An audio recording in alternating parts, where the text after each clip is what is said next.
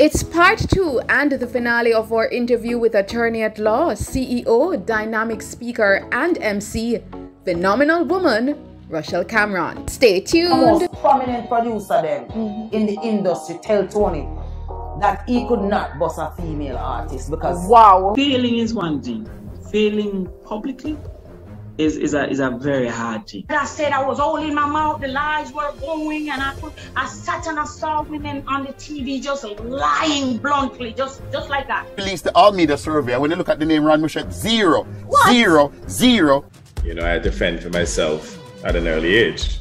In fact, my mother became mentally ill when I was nine years old. I sold everything and went to my wife and said, and she said to me, all right, no problem. She will she will back me. Just don't just just leave the house. From entertainers, politicians, business leaders, and more, the Trailblazers with Tamara McKayle on YouTube has it all.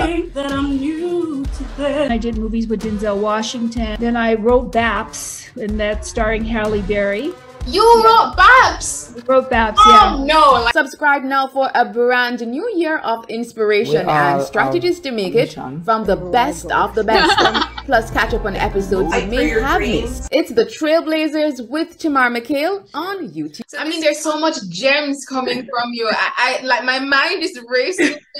But in terms of even the point where learning to silence that negativity when those doubts come, and then having that circle of people that can reinforce the positive messages, then which you have in those cases, like there's just so many nuggets of wisdom coming through um that I really appreciate you sharing. So from your your journey so far, what has been the most rewarding for you? Because you have your own business, your own company. I mentioned it at the top, uh, Prescient Consulting. Tell me a bit about that because we see you as a transformational speaker as well. We see you out there doing your thing on the big stage, inspiring thousands, hundreds of thousands as a John Maxwell certified speaker as well. So is this something that was also part of your you knew was part of your purpose or it just kind of another opportunity that presented itself for uh, you you know i've been actually thinking about that a lot because one of my next phases is i'm going to do um, more speaking coaching. Mm-hmm. so helping people more with presentations and speaking on stages. So was it something that like I used to sit down and think about? No, I mean everybody wants to be Oprah, but it wasn't like something that you that I, I thought seriously about at all. And the joke is that MCing was you remember I always say give jokes. So that's what my friends know before. I am like the life of the party. I always I'm always busting a joke and and I am that friend that in the darkest times we will cry, but we'll have a, a little giggle too. And one of my good friends years ago, she's getting married and she's like, You're the MC. And I'm like, Are you crazy? I mean, I've never MC'd anything in my life. And she's like, You're the MC. And she's like, You're so funny. You can figure it out. And I, I, have never been so stressed before because I always think MCing, and it's funny, it is one of the things that I probably like and dislike the most because I find there is, I feel a, a, big sense of responsibility at an event to keep that flow going. I have to pay attention. My friends, I'm too intense with it. But I believe if you have been invited to MC an event, it's not a joke thing. You're, you're taking that function along. You need to be paying attention, keeping the energy going, keeping your energy going. And sometimes you don't have no energy, you know, but again, you have to leave the, the problems outside and you got to put on bigger panties and jump in and do what you said you are going to do. So still when people ask me, I, I keep, no matter what the event is, and it's, it's always funny to people, I get super, super nervous, super nervous. Um, just like the first time, um, when people ask me to MC or to speak at an event, at an event, I still say, wow, you picked me. That's interesting. Thank you. And I'm really so honored that you would even want to hear from me. And I never want to lose that sense of wonder. Um, oh, I never want to lose that sense, even those heebie-jeebies and that nervousness, because it, it it reminds me, no matter the size of the event, I'm bringing, I'm giving you a hundred and fifty percent. I'm coming dressed to the nines.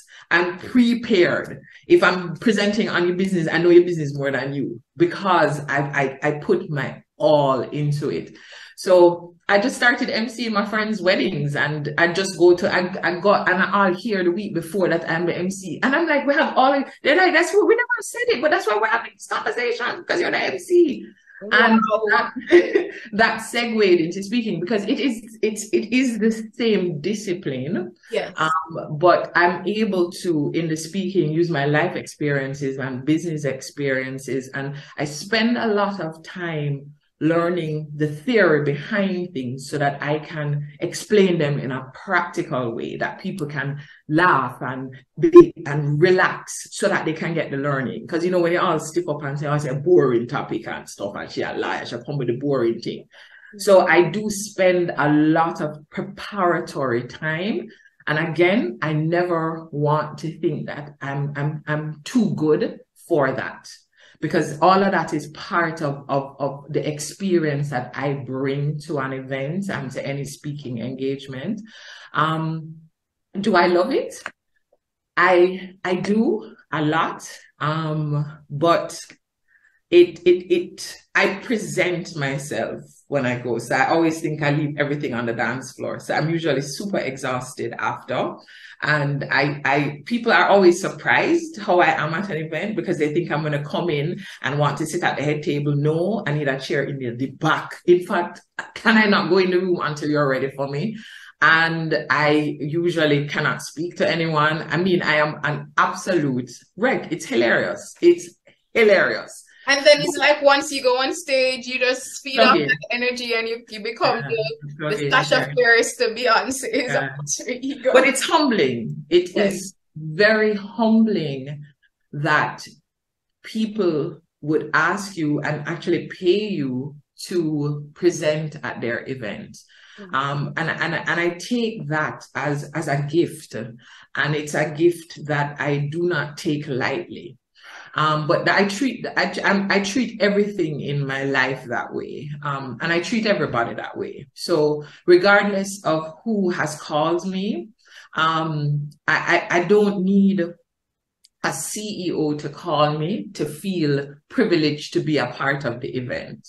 His assistant can call me, the HR assistant, whoever in fact, the fact that you have reached out to me and I'm, I'm I, I've learned country life when you go with the grandma, you learn to be respectful. So if you ask me what my real skills are, I'm I'm a fairly good lawyer. There are people that are much better than me. I'm an okay speaker. Sure, there are people that are better than me.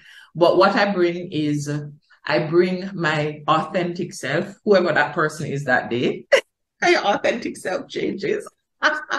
but also I bring with me the humility of knowing, knowing that you picked me and you're asking me for one thing to bring my best game face to deliver. That's all you're asking me to do. And I'm going to do that. Wow. Um, in terms of what I'm proudest of, um, so I gave birth to two things in 2019. One was Prescient Consulting Services Limited. Um, a, a, name that a friend of mine, the same day that I said that is the name of the company, she came to my office and she opened the door and she have a, I said, I have a name that you need to register for the company that you're going to farm. And I was like, what? And we both go prescient and we both nearly passed out. It was crazy. And you know, it's not a regular word. Oh, exactly. Like, really? It's not like hat our food. I know. Isn't that crazy? That's so, whoa.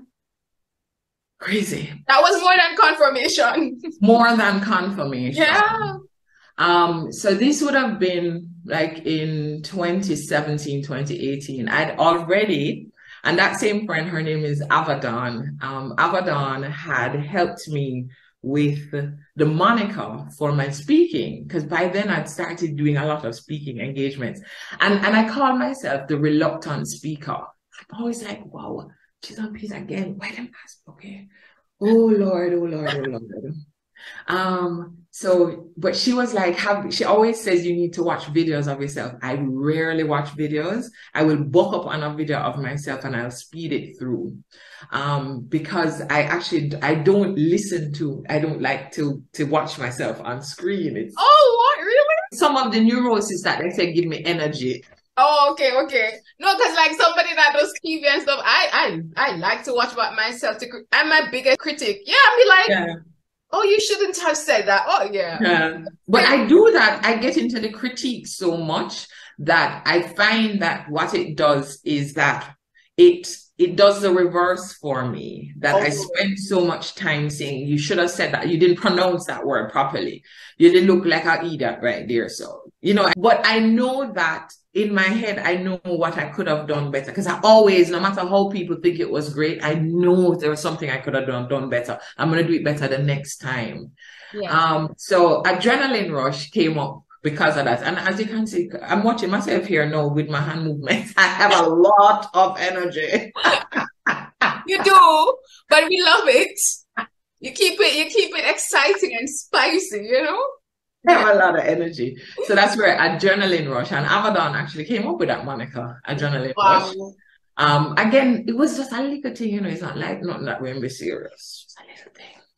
Then prescient starts, and when um when I decided to go full blown, I already had clients waiting on me. Confirmation again. You remember when I said when Whoa. God had my path? And then, um, you remember, I also said earlier that when you said you were doing CARIMAC in the late 2000s, I was already working, which means that, and you did CAPE. I didn't do CAPE. I knew I was a big woman when CAPE came around. So I was now in my mid 40s and giving birth to a child, the darling of my life. He's the, he's the proudest. My proudest moment was becoming a mother. Um, and I I wouldn't I, I I wasn't meant to have children earlier than I did. Yeah. I had things I had some things that God had me on a path to do. So I'm meant to do it now. And and there's a whole journey. I'm going to one day write a book about 45 and being giving birth. Wow. starting over that journey at that time, which is just a, a, a different type of mothering um, than if I was in my 20s but yeah. does not come any less with the the worry the am i doing things right? But I, I i felt that at that time it was just it was just it was amazing. It was amazing. But afraid oh my gosh. I mean i was and then i was just like whoa I said 40 past, 41 past, 42 past. So you know, Lord, I'm gonna have this panelist again. I'm going to Greece this year. It's a big travel year for me. And me say, you're not pick no? You're not pick no? But I mean, that is such a powerful testimony again about your story because again, it's it's it's trusting the timing of your life because a lot of times we we we feel like we have to follow all of these societal constructs. Yeah. So, you know, finish school at this, get married and have your kids by, you know, when you reach 30 or, you know, or stuff like that, or with or your early 30s thereabout. And and and for you to say that it wasn't until by the way, don't say that because it's you don't even look that. So I'm just saying, yeah. But for you to even say that, that's like wow so I mean, how how crucial is trusting the timing of your life and not what society dictates? How crucial? It is crucial, but it is not easy. Um, I think worse to know with social media, where um, we, we I would have grown up in a time that you people had to tell you the story of what they were doing. You weren't literally seeing it unfold. Um, there is a, a sense of self that I find that we are struggling as human beings with now this identity. Um, who am I? And so I'll preface it by saying, you know, at the end of the day, as with anything, timing is about you. It's about your journey. There's a blueprint for your life. Um, when the mold was made for you, the mold throw away. There is no one like you. Only you can live your life. So the other people's lives, only them can live it. So you have to like step out of them own and focus on, on yours and the timing for yours. You also have to, to focus on, on what I call the promises are for your life. Some you may have gotten a wind of. Most of them you don't know, but we have the promise for our life. Um, when I got into my 40s, I was okay being rich auntie. I knew that a big part of my purpose was being a part of the village that raised the children, and I thoroughly enjoyed that. I wanted to build a career, and I did it. And I was also willing to be okay with people, because you know, people always have a thing like you're never, you're never good enough, you know, in other people. You always need more. So you have to decide if like you're good with your current circumstance and celebrate your current and your timing. Even as we are going through with timing, we have to believe. We have to believe in our life. We have to believe in the importance and the value of our life. Forget everybody for a moment. So when somebody, when somebody says to me, so Rochelle, who are you? Who, you know, what's your authentic self? My authentic self changes. my 16 year old authentic self is not my current authentic self because she has changed. Mm-hmm. That little girl has grown up, but she also has that sense of wonder still. And I am okay if you do not like the trajectory of my life. I'm okay with that. I love that. Okay. I really love that. And I love where you spoke about having that sense of wonder. That's something that I believe in. And like, you know, like my friends would be like, okay, when we're like, you know, in, in high school and then you're young adults and then you're adults now and you're like, okay, certain dreams that they had when they were like maybe 10 years ago when they're leaving sixth form or high school and then they're now adults, you're like, they don't they put aside those dreams because they don't think it's possible anymore because they're like okay reach late 20s 30s now how is it crucial for you to always have that sense of wonder and belief in what your divine purpose or purposes is? Because it can be multifaceted. Yeah. how crucial is that? Because i'm somebody who i just always still have that childlike faith so I mean, and and, I, and that's why when you say it, it resonates with me. So I'm like, and then they say I'm lucky. They'll be like, "You're just lucky." Like things are, but I mm-hmm. feel like it's having that sense of wonder it and having that belief, which helps. So yeah, how, how critical is that? So you know, it's funny. Let me just start with what you said. You know, that people, people, there's always an excuse for something. So the reason why you're able to do that is because you're lucky. I'm like, when I was up at night studying, when I don't sleep for two days, where were you? There's no luck in that. No luck in that. Because I put in the work for this. So I, I, in my head, I'm like always 27. I don't want the magic of 27. I just like 27. so I just like 27. Um, and I, I, I believe that my life is unfolding and it continues to unfold and fascinate and surprise me and will continue until the day I die. So in my 40s, I'm still a young woman. In my 50s, I'm still a young woman. I'm as young as that day that I can throw my feet over that out of that bed and jump up. And when I cannot go anymore and them have to feed me and take me outside and sun me, I still, I'm still wondering about what tomorrow can bring. Yeah. Because in my head, my aging is is is a space of the learning aging is about the experience but my spirit my spirit i am still 16 i'm still in awe of what god can do and what happens to us is we stop being in awe of ourselves and what we are capable of. And we put eight specific times to it. We put labels on it.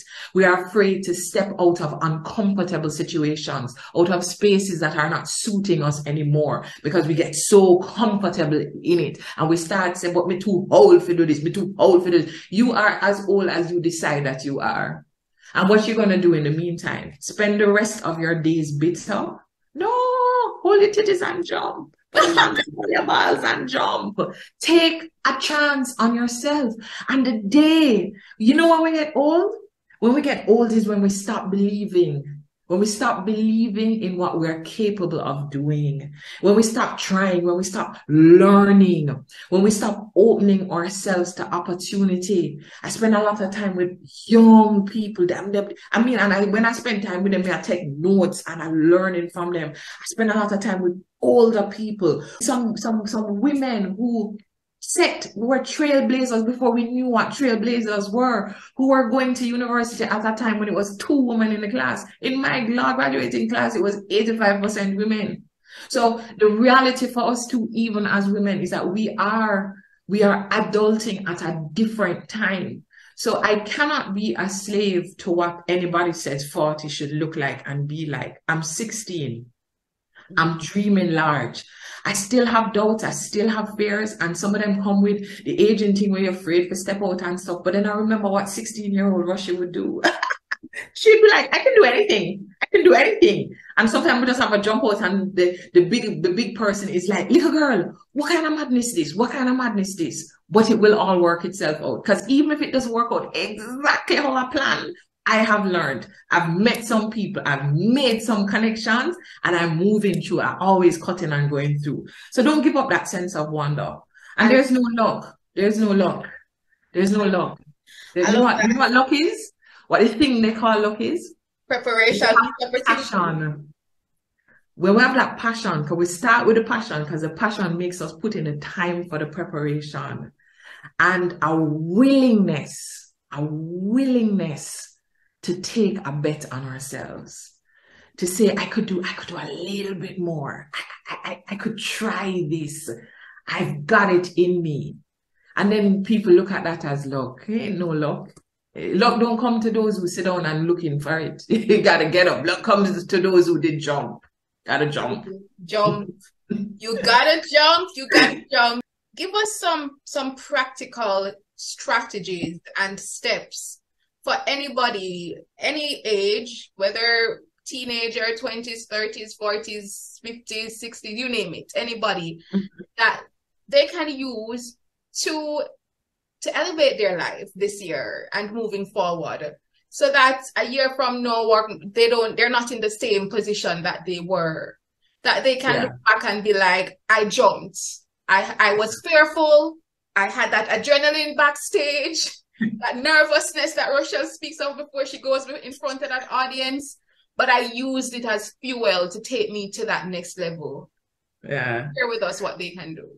So one of the things is is being willing and able to stop and the ability to stop for a moment to even get your bearings. Where am I really?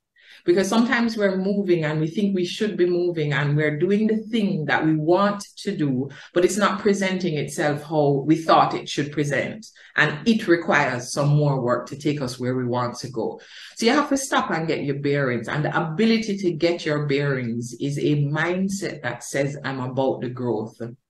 I am about the next steps. So, so I say, I, I like to say to people, and when I'm coaching people, I say, stop for a minute. Let's let's figure out where we are. Because sometimes the reason why we feel like we're not moving is how we're tired. We're burnt out. Sometimes you, are doing the things, you know, but you're also you're so exhausted that you cannot even stop to celebrate the actual wins. And many of us are in that place where we have to stop and we have to assess where we are. And in that assessment, um, where did I think I actually should have been? So the big, I'm, I'm, thinking I should be somewhere else, but where, where is that place that I thought I should have been? And also facing that I never really knew where I wanted to go. Sometimes you don't know. Sometimes you've just been moving along. The job has been promoting you. The, this is the job that you ended up getting. You had some children, you had a husband or a wife, and you said to yourself, this is what you are supposed to do at this phase and you are uncomfortable. You actually feel sometimes like your body a twitch. As my friend said the other day, sometimes you feel like you're gonna burst out in a some bump because there's some things inside that are still not being fulfilled. So I like to look at the things in, in pockets, I think, because sometimes when you take things too much thing, you know, you feel like overwhelmed. Yes. So you stop and you ask yourself about things like, where do I wish to be in my career? And be willing to face one where you have some big, big dreams of where you want to be. Write them those, those big dreams. Like sometimes it's so big, it's it's scary. Your hand is shaking to write it. And when you find that you've smalled up that dream because you're looking at your circumstance, you realize that it is smalled up in everything. There's no such word as smalled up, but you know what I mean? Yeah. You smalled it up in everything. So it is about how am I going to expand to where I want to go? Or it may be that this is where I thought I really wanted to go and I have reached there. I'm, I'm, I'm feeling at the top of my game, but I'm not feeling fulfilled because I feel like there is more. Because everybody is not in us. Some people are afraid to even step up because you're afraid that people say you, you need more. You're going to learn that too. What does that have to do with what you're currently doing? That's not, again, the people, them are all right. Leave the people, them are what the people, them are say alone. Focus. So sometimes it is you've achieved the vision that you set out, you achieved it, and you're just like, where's my next step? Where else am I going? We have to look at all of the areas of our life. Sometimes we are missing things like adventure because we've been so focused on work and the children that we haven't. And I thought one was self care, we mean adventure, some things we didn't want to do. You always clip. I dive. And you just wanted to do, you wanted to experience. Um, one of my friends learned how to play polo. She always wanted to learn how to play polo. And, and sometimes, you know, that the, the, we think that everything, a, a success is centered around career career and, and, and paying careers help to fund some of what we want to do. But success is not about that. That's a part of our lives.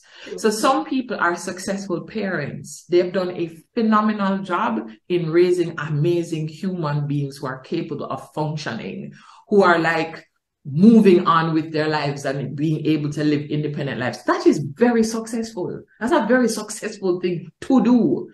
And now the kids have, have left. What am I going to do next?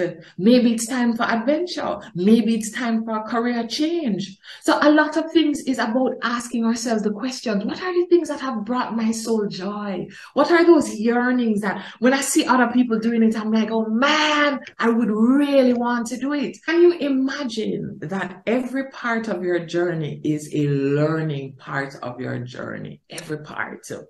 And there are sometimes we're in places that we need to be uprooted rooted and moved because the sunlight isn't coming at us, so we cannot bloom. There are other places. yeah, sometimes you have to move to where sun can catch you. No, no, I know, I know, but wow. No, that point resonated with me so much because I remember posting a thing on my IG. It was probably like a year ago and it was literally about that same thing because I had a literal plant. Mm-hmm. and it was it was it wasn't blooming. It was like literally drying up. And then I realized somebody said well it probably is the spot where you have the plant. No sunlight is is is catching it. Yes. and then and then I moved it from that spot and lo and behold when I did and you know you watered it continuously it started to bloom, bloom. and flowers and everything. So I mean that that is so true. Sometimes it's not the plant, it's not anything that's wrong with the plant, but it's the environment. It's the environment, and you have to move to where the sun can catch you. And I'll, I'll wrap up with this: that I think one of the the greatest blessings I've had is, and I spoke about it, a tribe, a circle. I have a circle of friends, I have circles of genius in persons who I can go to about business, about law, about life, medicine, anything.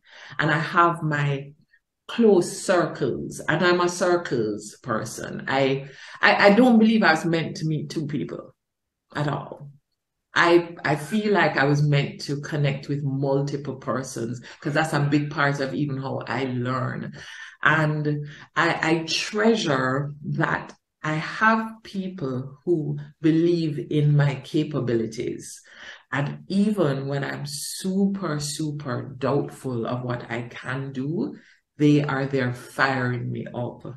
And um, even with how prescient has grown and and and and and sometimes it scares me because I still say, is this what I'm to be doing? And I see how God has handpicked persons from different parts of my life and caused them. So I have um, two amazing team members who are foundation to Prescient, Keisha Bryan and Jan um, who I mean, they're not adjectives to describe how they have bought into the dream and have, have run along with it. And in many instances, pulled me along.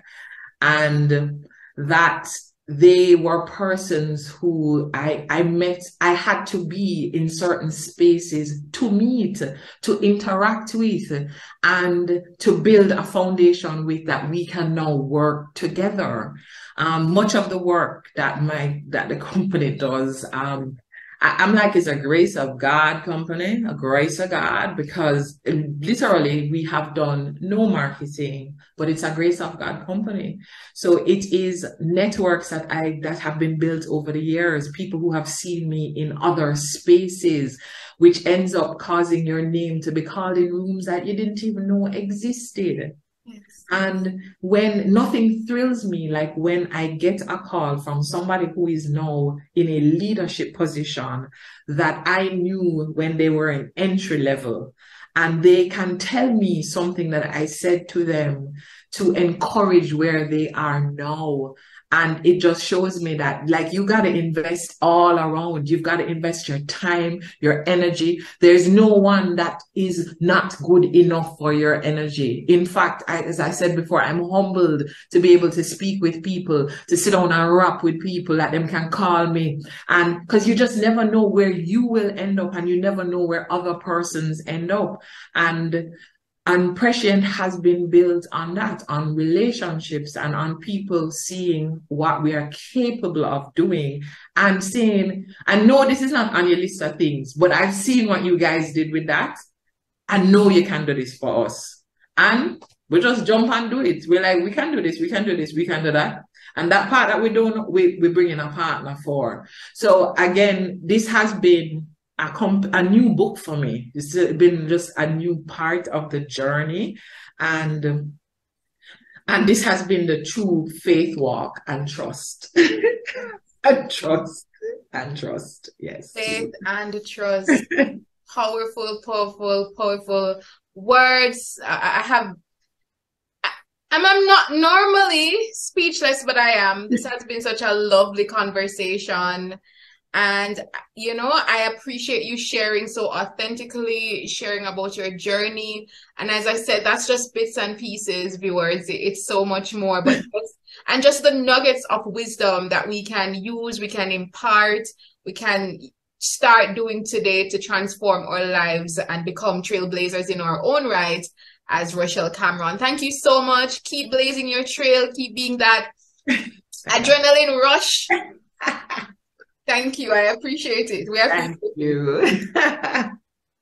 Hi everyone, I'm Tamara McKayle, television and radio presenter, producer, communication specialist, and of course, producer and host of the Trailblazers series. And I'm inviting you to be a part of the Trailblazers family as we continue to grow. So, all you have to do is just click that subscribe button. Make sure you click that notification bell so you are alerted as to when we have new episodes and join our family for weekly inspirational episodes that will not only lift your spirits but give you the tools, the keys, and the strategies that you need so that you can walk in your purpose, blaze your trail, and be all that you have been created to be.